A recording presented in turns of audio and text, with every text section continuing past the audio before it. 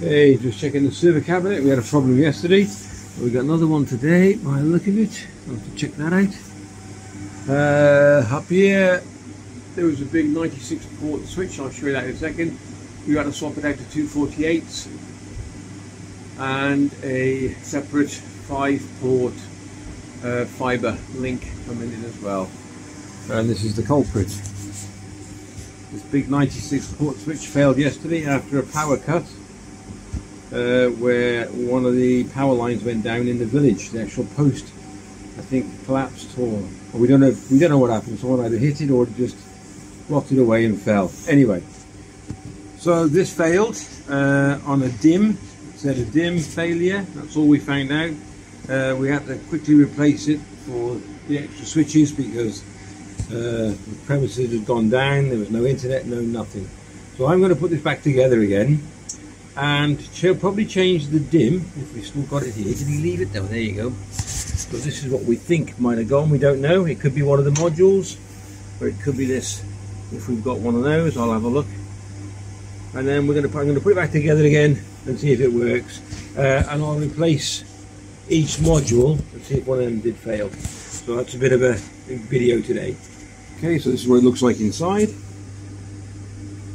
If anybody's interested, of course we've got some more we've got spare spaces for more modules to go in. We also have another one of these in another part of the uh, premises which we can keep the spares for anyway. So if anybody's interested it is a come on yeah pro ProCurve switch power over ethernet poe which means for beginners um, that each module well when you plug an ethernet cable into it so each, let me just show you. Got the main one. But each one of these, if you plug a device in either, uh, let's say a Y wireless AP access point, which requires power, you don't need to put an injector, which is like a transformer, to put power to it. You just plug it into this, use an Ethernet cable, the RJ45, and this will power the actual AP without all the rest of the stuff. This is the module, which we don't know if that's failed or not. I don't think it. We don't know. We can't tell. Uh, and that is the um, fiber connections. Okay. So I'm going to put all these back in, fire it up, and if there's a failure or a fault, I will change this out. Just we're just playing, just playing. We've ordered a new one. We've got no choice. Okay, first module I'm going to replace is you can't go wrong if you see the slots in the sides there. get them lined up and slide it in. And then these two levers just push in and you've got two little screws you can lock down. I'm not going to, I'm just going to replace the modules.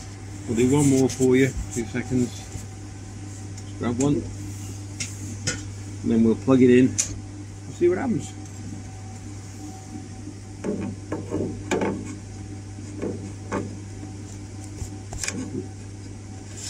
And you push it home, the levers go down. Okay, I'll do the rest and we'll fire up. Yep, and the last one is the control panel.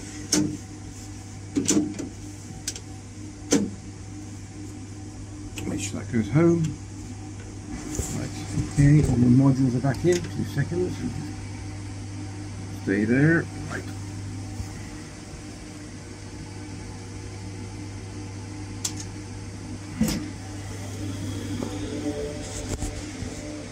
Here we go, back on.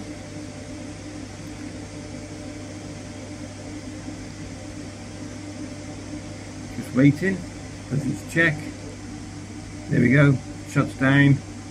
This is the fault, so we get a light flashing on the fault. And we also get DIMM. I'm going to power down. I'm going to try that module first and change that DIMM in there, that memory if we've got one. Uh, and then I'm going to take all the, modules out and just leave that one in and then we'll see what happens. Actually, I'll, I'll take the modules out now, I'll power down, take these modules out and try them and see what happens. So to remove them, just pull the levers. Right, it comes. The levers. Right, it comes. There we go. If this works now, we know that it could be one of the modules. Right, don't think it will be. It could be the actual power unit at the back as well, the fans are working.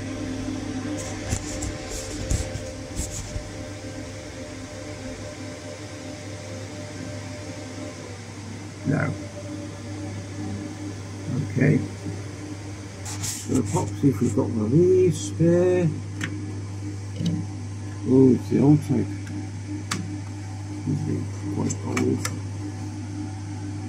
Hmm, I'll have a look. We might have an old PC lying around. I'll have a look. Okay, without the DIMM, I think the module's gone.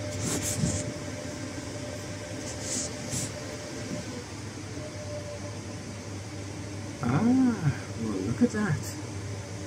We have a flashing light. Sorry. But we have green lights across the board, but we've got a DIMM missing. I'm going to try and find one of these memory sticks, and it could be that.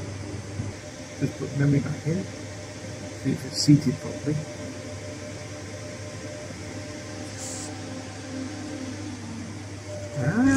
Okie dokie, new memory come. Took a while, but it doesn't matter. Actually, they were quite generous because they sent me two, two slots. I only wanted one. Uh, there we go. Slide them in. Okay, I'm going to get the big 96 port switch lined up now and I'm just going to put this module in to see what happens. Right,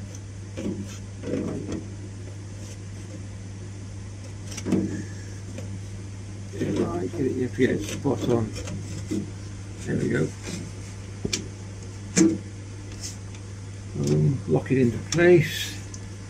You don't have to screw those in just yet. Okay, bear with me. Let's go.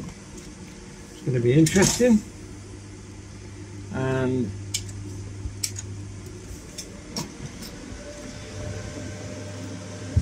it up. Still got a fault light, so it doesn't look too good. This is going through a pre-test.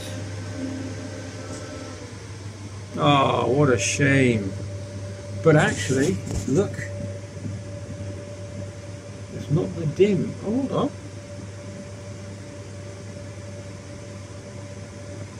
That's interesting. So we've got everything up here. We still have a fault there. So I'm going to put some modules in and see what happens. So I'll shut down and um, that's just the, it's interesting. Okay. Okay, so this one is the fiber link. I did order the right one. But we just had a quote for a new switch. Six grand. So it'd be nice to get this going, but we don't know how trustworthy it can be. You see, that's the trouble. Once you've had a bit of a power surge, me personally, I wouldn't recommend it, but it depends how much money you're dealing with and the company you're dealing with. Okay, there we go. Power it back up.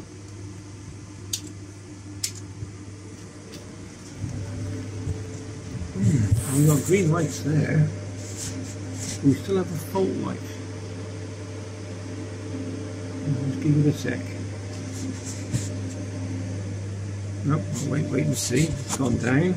So, but not no DIMM lights come on. Oh, we're back to green again. I'm just going to give it a second to sort of warm up and see if it has to go through a, a pre-self test because most switches do. Oh, here we go. Christmas tree light, doing its self-test. There they go. Fault light gone out.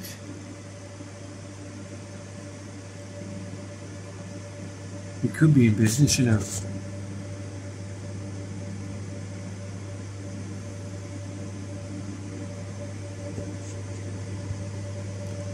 So it looks like it was a faulty memory module due to a power surge by the look of it. What I might do is just leave this on now over the weekend, nothing plugged into it, and then see what it's like when I come in Monday. Looking good. Look at that. If you enjoyed the video, please give it a like and a thumbs up. Um, the menu mo memory module I got off eBay.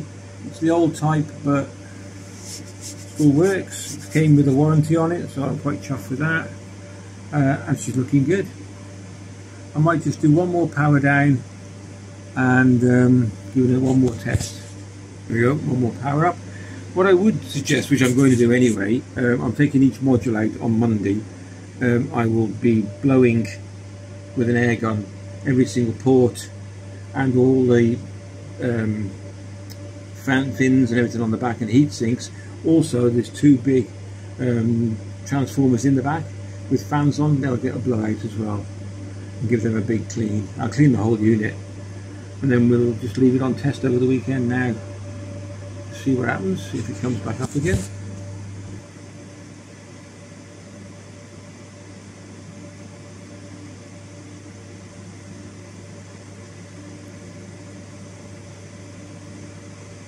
Let's through a pre-test, testing all the ports, all green, fault light gone out.